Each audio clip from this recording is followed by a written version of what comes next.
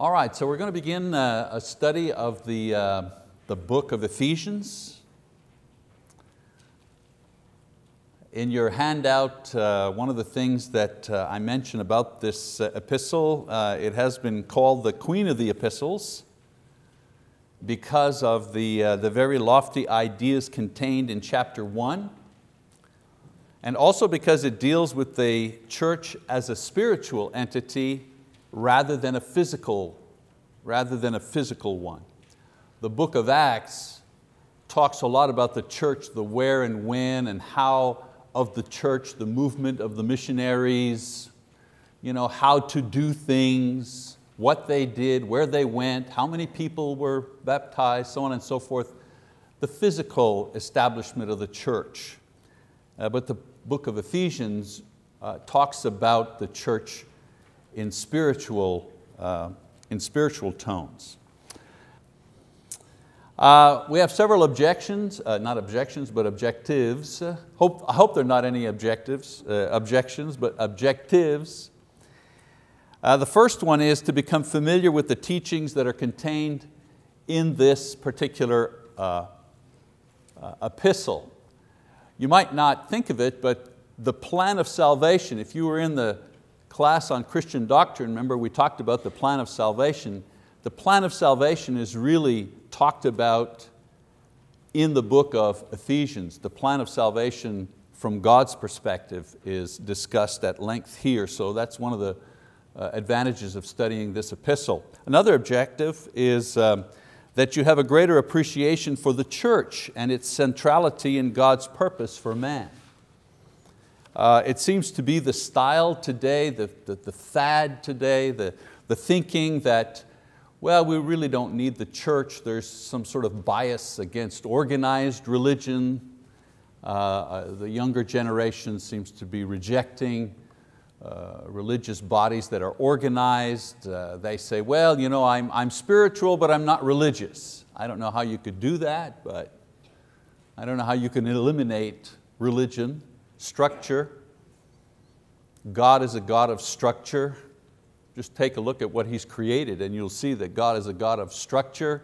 So if the God who structured this entire universe um, doesn't structure the church, doesn't make any sense, doesn't it? So hopefully this book will, or this epistle will raise your appreciation for God's view and God's purpose for the body called the church. And then thirdly, that you become sensitized to the great difference between the physical realm and the spiritual realm in which you live simultaneously as Christians. The great problem with Christianity or the great challenge of Christianity is that we live in two worlds at the same time. It's that constant dichotomy. Two things, two pressures on us all the time. We live in a spiritual realm, but we also live in a physical realm, and we do both at the same time. And the book of Ephesians helps us with that, with that struggle. Hopefully by the end of the class, I hope that you'll have a clearer view of God, a clearer view of His church, and the very real blessings and the power that we have as Christians. All right, so we know that uh, Paul is the author of this epistle and wrote it as a result of his visits to this place, Ephesus. And before we actually begin the text, I thought it would be helpful if we, if we briefly reviewed Paul's ministry, since much of it is interwoven with the work that he did in this area. And the handouts that you have will help you kind of follow that chronologically. We don't have a lot of information about uh, Paul before he uh, became an apostle, from his birth to around 31 AD, his early life in Tarsus and Jerusalem. We know that he traced his lineage to the tribe of Benjamin. He was born in Tarsus as a Roman citizen. Interesting thing about Tarsus, when the Romans took over, there was a choice if, if, you, if you fight us, we'll come in and you know, we'll, do what, we'll do to you what we did to every other city, every other province, every other area. But if you cooperate with us, we'll give you Roman citizenship. And so Paul was born in a city and born as a Roman citizen for that quirk of history, if you wish. Acts chapter 16. Tarsus was a city of learning, and this is where Paul became acquainted with Greek learning and language, as well as various religious cults. Uh, he received this formal education at the feet of Gamaliel, a great Jewish teacher in Jerusalem. Again, uh, the Bible talks about that in Acts chapter 7 and Galatians chapter 1 verse 13. As a young man he was given authority to direct the persecution of the Christians as a member of the local synagogue or Sanhedrin or council if you wish. He cast his vote against Christians in order to imprison or execute them. Talk about that in Acts chapter 26.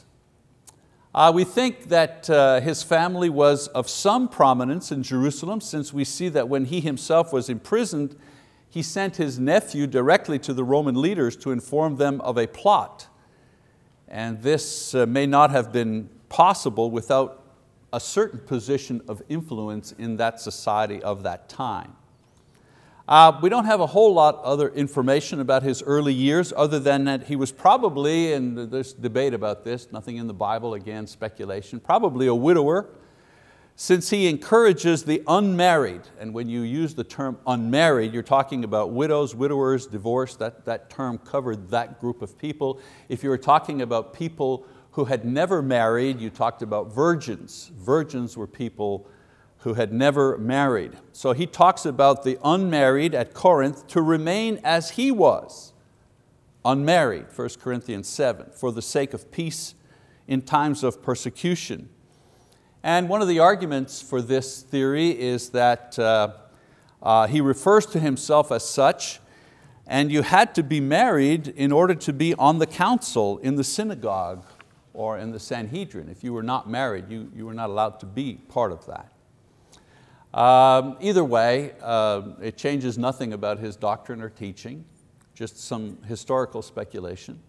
We know very little of his looks. 1 Corinthians 2, 2 Corinthians 10 suggest that his physical appearance was not impressive. Some non-biblical but historical writings, the Acts of Paul, for example, or the book of Thecla, say that he was short and balding. That's why he's my favorite apostle. He had crooked legs, he was bow-legged, uh, but had a healthy body, bushy eyebrows that joined, he had a hooked nose. In other words, he looked like a Jewish person. You know, we always, uh, all the Hollywood images of the apostles, you know, these tall guys, you know, 5'11", 6'1", you know, with dark brown hair. That, are you kidding me? if you're over six foot, you were a giant in those days. So he was a Jewish looking man, small, dark complexion. They also write that despite his humble physical appearance, he was full of grace and sometimes had the face of an angel. Again, non-biblical writing, historical writing. Uh, from 32 to 34 AD, in that period, his conversion and early ministry. Of course, most of our knowledge of him begins with his conversion on the road to Damascus, very familiar story. He had received official orders to go there and arrest Christians, Acts 9. He was acquainted with Christianity and Christians, but as a persecutor. Uh, he was there when Stephen was martyred, Acts 7, when the church was being persecuted, Acts 8. On his way to Damascus, he had an encounter with Jesus Christ. I want to read Acts, as I say, we're not going to read all of these you know, passages here. We don't have the time.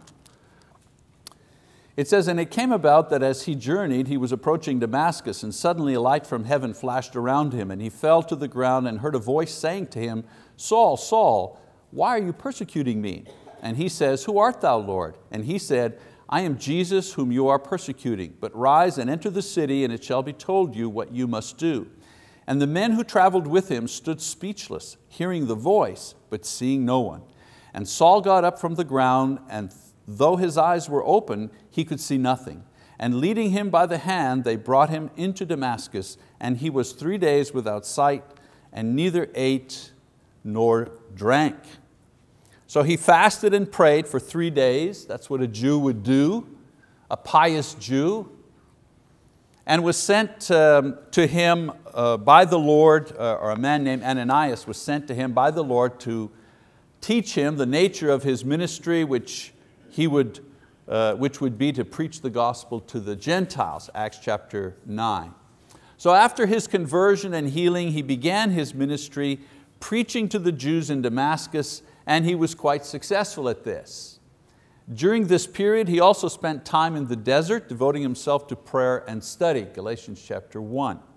And eventually he had to escape from Damascus because of the pressure he was receiving from Jews. He was not very popular among the Jews. He was the leader of the, the persecutors and now he becomes a defender of the persecuted. So he was not popular with the Jews. Uh, in 35 AD, he tries to associate with the apostles after his escape from Damascus, he returns to Jerusalem, tries to associate with the apostles and be recognized by them. In Acts 9, they were skeptical at first, which would be normal, uh, but with Barnabas's reference and commendation of his conversion and work, he was accepted by them and began to teach and preach. And, and doesn't that sound familiar even to this day? You know, a, a, preacher comes, you, you hire a preacher, you hire an associate minister, whatever it is, you hire a youth minister, someone to work in the church, and, and they can have a degree and they can have this and that, but in my experience, when the elders are looking, you know, they are looking through the person's background, where he worked, the key uh, document that they're looking for are letters of recommendation from other elders and, and other churches vouching for the stability of this individual as a minister and as a Christian and so on and so forth. Nothing has changed. In the same way, Barnabas provides uh, that word of approval uh, so that he can be accepted. Uh, again, he's threatened and has to escape and um, uh, leaves for a time. Next slide, in 36 to 42 AD, he's returned to Tarsus. Six years so after he leaves Jerusalem, he returns to his hometown of Tarsus, spends several years preaching and teaching there. Some scholars call this the silent period of his ministry. Six years, not six months, six years. And then 42 to 44 AD, teaches at Antioch. The church at Antioch was the first to have a mixture of Jewish and non-Jewish Christians, having been formed as uh, Christians were escaping the persecution in Jerusalem, they formed a church uh, in Antioch. So this created some strain. This was a new mixture, Jews and, and Gentiles together under one head, one religion. And so Barnabas recruits Paul to come with him to teach and preach at this place because of his understanding of Gentile customs, Greek thinking and so on and so forth, and the fact that he is a Jew, well trained in the scriptures, the perfect match for this particular church. 44 AD, he helps with the collection for Jerusalem. About this time, Jerusalem and the surrounding area suffered famine conditions. A collection is taken up to help out, and Barnabas and Saul were put in charge of bringing it to Jerusalem for distribution, Acts chapter 11. I want you to notice it's a long time between the time that you know, he sees Jesus and Jesus gives him his ministry and he actually starts that ministry. There's a long period of training, a long period of development there before he actually begins his ministry. 45 AD, by 45 AD, we are into the uh, missionary journeys. Most of the last half of the book of Acts describe Paul's three missionary journeys, Acts 13, 1 and following. It's during the second of these journeys that he first visits the city where he will eventually establish a congregation in Acts chapter 18. His three journeys took him on over, uh, uh ever widening loops around the Mediterranean area where he would establish churches on the way out and then revisit and strengthen those churches on the way back to Antioch and Jerusalem. Uh, 58 to 60 AD, his uh, imprisonment at Caesarea. One of Paul's ongoing problems was the attacks of Jewish leaders, jealous of his success, and fear that their religion would be defiled or displaced. So on one of his returns to Jerusalem, they create a riot and they caused him to be imprisoned by the Roman authorities. He remains in a Roman jail for two years while local rulers like Felix and Festus and Agrippa hold him captive in order to appease the Jewish leaders. Ultimately, Paul appeals his case to Caesar, which he was allowed to do as a Roman citizen, and was sent to Rome for trial. 60 to 61 AD, his trip to Rome. This trip by ship to Rome was interrupted by a shipwreck and they stayed on the island of Malta. And eventually in the spring of 61 AD, Paul arrives under guard in Rome. Again, read about that in Acts chapter 28. Uh, it was ironic because one of Paul's goals was to go to Rome, the capital of the empire, and preach the gospel. And the Lord assured him that that would happen, but not exactly in the way he thought it would happen. and I'm always reminded that isn't that the way it happens in our own lives so many times? We ask God for something and it happens, but not exactly the way we thought it was going to happen. Same, same uh, process here for Paul the apostle. 61 to 63 AD, Roman house arrest. Luke tells us in Acts 28 that Paul was under a type of house arrest for two years awaiting trial. However, during this time he taught many who visited him, especially the Jewish leaders in Rome, who ultimately rejected him and his teaching anyways. He did, however, have great success with many Gentiles in Rome, including other prisoners and guards in his circle. Uh, Onesimus, uh, Colossians chapter 4, 9, the Praetorian Guard we talk about in Philippians 1. While he's in prison, he writes several letters to different churches. We call them the prison epistles. We have from these uh, letters, we have remaining uh, the Ephesians, the letter to the Ephesians, Philippians, Colossians, and Philemon, prison epistles. In 63 AD, he's released from prison. It seems that he won his case when he appears before Caesar because we see Paul visiting other churches after his arrest and imprisonment in Rome the first time. So between 64 and 66 AD, he revisits the churches. Now this period is less clear than his previous activities. There's no biblical evidence, but there are some historical writings, uh, for example, the letter of Clement in 85, 95 rather, AD, says that he did visit Spain, but after his first Roman imprisonment. And from his writings, we do find out that during this time, he revisits established congregation. Well, doesn't it make sense? He's been out of circulation for two years. He writes to these churches. He's concerned about them. His desire when he was in full missionary mode was to just keep pushing the boundaries, to get to Spain. Now, after being out of circulation for two years, his concern is for the churches that have already been established. So from his writings, we find out that he visited several congregations. For example, he spent time in Crete, Titus chapter 1, verse 3, a large island in the Mediterranean. He went to Ephesus, 1 Timothy 1. He traveled to Corinth, 2 Timothy 4. He stopped at Troas, again, 2 Timothy 4, and he went to Miletus, 2 Timothy 4. So during this brief period of freedom, it's believed that he wrote the first letter to Timothy and also the letter to Titus. 67 AD, Paul is martyred in Rome. In 64 AD, Nero, the emperor, burned down the city of Rome. And to divert blame from himself, he blamed Christians for starting the blaze. They were already unpopular and so it was easy to begin their persecution.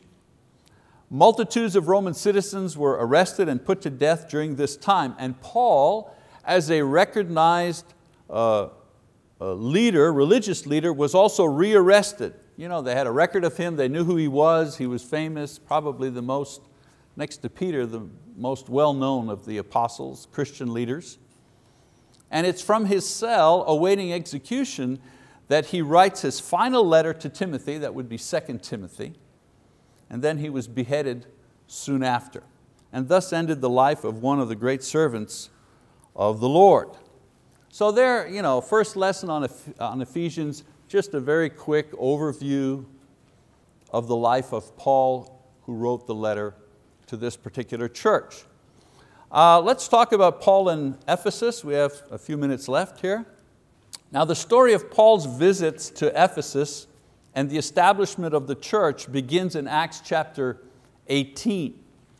In Acts chapter 18, 18 to 21, Paul is on his second missionary journey on his way home from Athens in Greece. And he visits briefly to an enthusiastic response and leaves Aquila and Priscilla there in order to return home to report on his work. There were no conversions at this time. In Acts chapter 18, let's go to Acts chapter 18. It says, now a certain Jew named Apollos, an Alexandrian by birth, an eloquent man, came to Ephesus, and he was mighty in the scriptures. This man had been instructed in the way of the Lord, and being fervent in the Spirit, he was speaking and teaching accurately the things concerning Jesus, being acquainted only with the baptism of John. That's a key idea right there.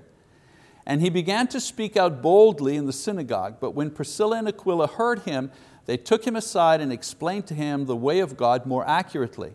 And when he wanted to go across to Achaia, the brethren encouraged him and wrote to the disciples to welcome him. And when he had arrived, he helped greatly those who had believed through grace, for he powerfully refuted the Jews in public, demonstrating by the scriptures that Jesus was the Christ. So Apollos, this teacher, comes to Ephesus. Remember, Paul's already visited once, no conversions. He preaches to the same people that Paul did, and we find the results of his preaching in the next chapter. But Luke writes that Paul's friends Aquila and Priscilla take Apollos aside and they teach him more accurately the way of God. Again, only in the next chapter do we get some idea of what Apollos was taught by Aquila and Priscilla. So in Acts chapter 19, Paul returns for a second visit to Ephesus and now he establishes the church he finds the 12 disciples, believers who have been taught by Apollos. They were, not taught, they were not taught by Paul, they were not taught by Aquila or Priscilla. Uh, that means they had been taught by Apollos. So Paul learns that they have been incorrectly taught. And he learns this by asking about their conversion. Again, you know, people say, what do you, what do you do when someone new comes to the church you know, and you don't know their background and, you know, and, and they, they would like to be part of the church or they'd like to be, what question do you ask them? And I, I ask them always the same question, tell me about your religious background. Just tell me about, you know, I, I'm not asking, uh, do you believe uh, in, in creation in seven days, you know, I mean, those are important biblical doctrines, but that's not exactly what I want to know. I want to know your religious background. How did you become a Christian? Are you even a Christian? Because that's the starting point. Did you believe in Jesus? Did you repent of your sin? Were you baptized? And so on and so forth. So Paul does the same thing. He, you know, tell me about, you know, they're saying, yeah, we're with the Lord, we're, we're Christians. And Paul says, well, tell me about your religious background, basically. So part of the basic Christian gospel is that through Christ and His baptism, the Holy Spirit is received. Acts chapter 2, verse 38. Peter says, repent and be baptized in the name of Jesus, every one of you, for the forgiveness of your sins, and you shall receive the gift of the Holy Spirit. So their answer shows what Apollos taught them was the message of John the Baptist because Paul asks them, have you received the Spirit? And so they say, well, we didn't even know there was a Spirit. So there's something, big hole in, in what they've been taught.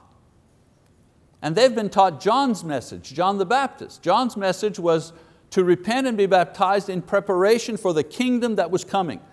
This is what Apollos taught them. The message of the gospel is that the kingdom of God has come and it's come with power. And those who repent and are baptized in Jesus' name are forgiven and receive the Holy Spirit. And we don't put a lot of emphasis on the receive the Holy Spirit part. Usually when we quote Acts 2.38 or that section of scripture, we're always talking about making sure that baptism is by immersion, which it is, but you know, we, we focus on that. Or the forgiveness of sins. But do you realize that in the first century, the thing that really excited people about the gospel was not the idea of forgiveness of sins, it was the idea that they would receive the Spirit. Because the Spirit is what powers the resurrection. Romans 8 verse 9 to 11. To Jews, the fact that the Holy Spirit was given through Christ was the big issue about the gospel. It's what they had been promised by the prophets. If you were a Jew and you look back at your history and the history of the promises made to you, the Spirit was given, but He was given very few times and to very few people. Some of the kings, some of the, ju the judges, Samuel, Samson, the prophets, you know, Isaiah, the Spirit was upon me. David, by the Spirit, defeated Goliath. You know, the Spirit came upon certain individuals for a time. Even David in one of the Psalms said, don't take your Spirit from me. And the promise to the Jews was when the Messiah would come, the Spirit would be given to everybody, everybody, male, female, free, slave. Everybody would get the Spirit and everybody would have the Spirit all the time. That was the exciting part of the promise. So Paul says to these people, did you receive the Spirit? And they said, well, we don't know. What? The Spirit? We never even heard of the Spirit. So there obviously was a hole that big in what they had been taught. So this is what Paul teaches these men and what Aquila and Priscilla taught Apollos after they had heard him speak. You wonder, what did they teach him? Well, they taught him that repentance and baptism in Jesus' name brings forgiveness. Yes, so far, you know, a similar message to John, and the gift of the Spirit, the regenerating power of the Spirit comes at that moment. Note that the disciples are rebaptized in Acts chapter uh, 19.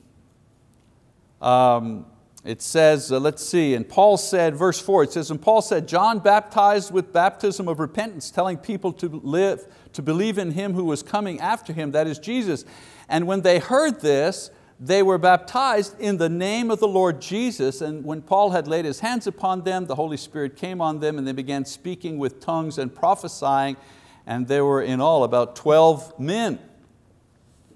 So these men received not only the indwelling of the Spirit through baptism in Jesus' name, but also the empowerment of the Spirit through the laying on of hands of the Apostle Paul.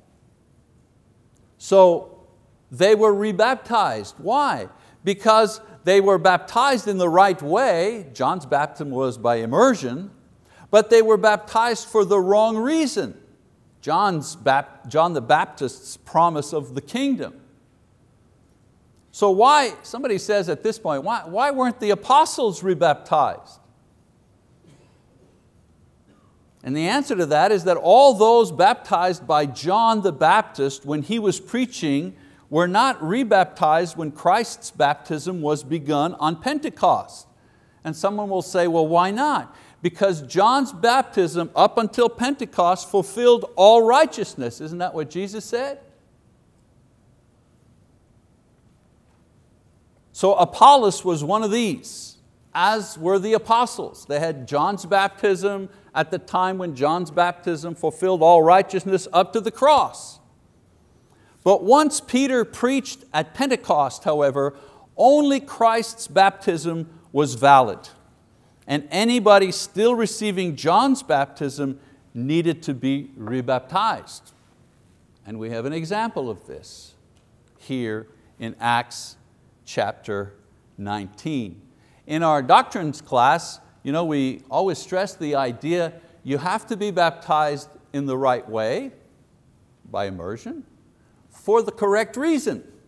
And there are many reasons in the Bible for forgiveness of sins, to receive the Holy Spirit, uh, uh, to become a member of the church, to put on Christ. You know, there are all kinds of metaphors that are used that talk about salvation.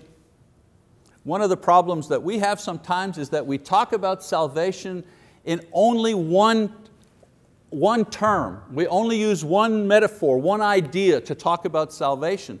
But the Bible, the New Testament, talks about salvation using many ideas. Let me ask you this, someone who's born again, is that person saved? Yes or no? Yes, raise your hand, yes. Someone who's born again is saved, of course. Can an unsaved person be born again? Well, no. That term, born again, in John 3, does he mention there anywhere forgiveness of sins? Member of the church? No. He uses the imagery of being born again to refer to salvation. All right. Um, um, uh, let's use Acts. Uh, those, uh, who are, uh, those who repent and are baptized in the name of Jesus receive forgiveness of sins.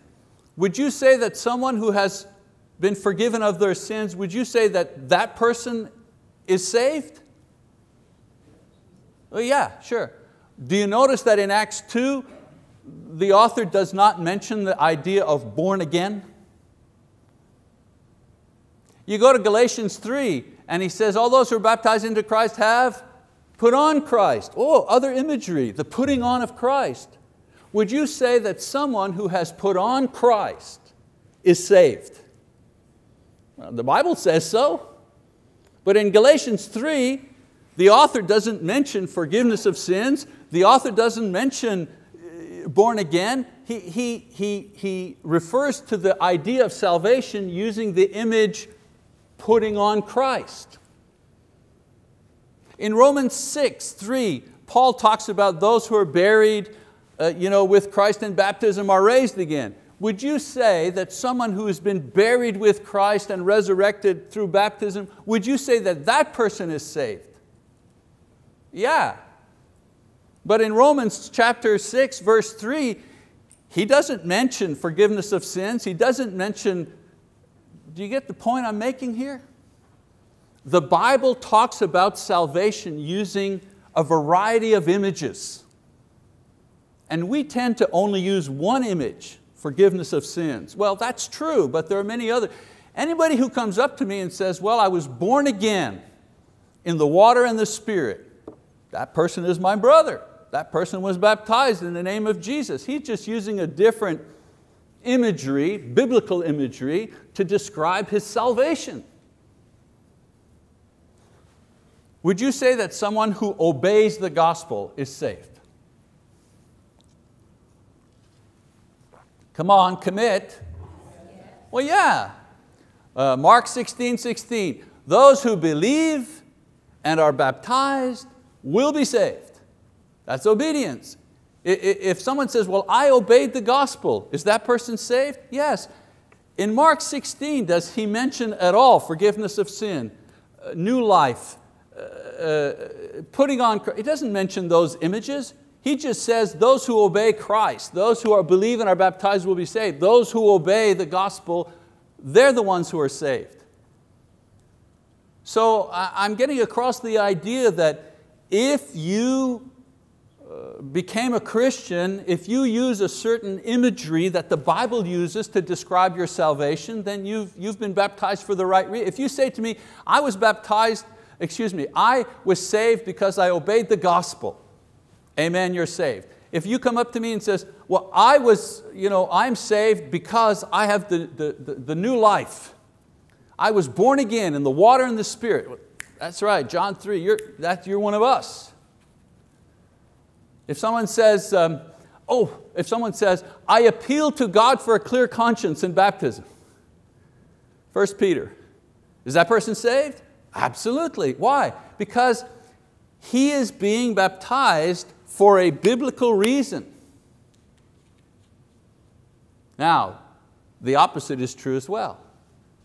If the person says, well, I was baptized because it was my birthday, uh, I, I'm saved because uh, I came forward and I was baptized because my big brother came. No. Uh, I wanted to take communion. I was always embarrassed. Everybody, every time the plate came to me, I had to skip over and pass the bread to the guy next to me. So I wanted to be able to take the communion. No. That's what I mean. If you're baptized, immersed, because that's baptism, that's biblical baptism. If you're immersed for the right reason, and there are many, I obeyed the gospel, I was born again, I, you know, I put on Christ, you know, all those different metaphors, all those different images, then you've been baptized in the correct way for a biblical reason. But if you're not baptized, in other words, I'm sprinkled as a baby, I'm you know, whatever, well then you, you have not been baptized the correct way.